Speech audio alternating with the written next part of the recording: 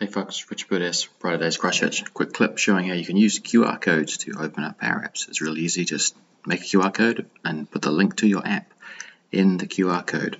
Um, there's many QR code generators that will do that for you. And if you want to take it to another level, you can adjust the URL that the QR code sends to to add a parameter which will allow you to then use your Power App to take or the QR code, sorry, to take people directly to the correct screen in your app to make sign in or whatever they need to do um, much easier, which we'll see in just a second on the clip on the right hand side. Here we go. So this one is a QR code to a different, same app, but the, the URL is slightly different. We will open in Power Apps from my phone. And rather than going to the home screen, uh, apologies for low battery, we'll go straight to the screen where my I'm logged in, I've got my, it knows my name, it knows my location, Christchurch office, and I can sign straight in. So quick clip to show you how to do that. Any questions, just please reach out. Thank you.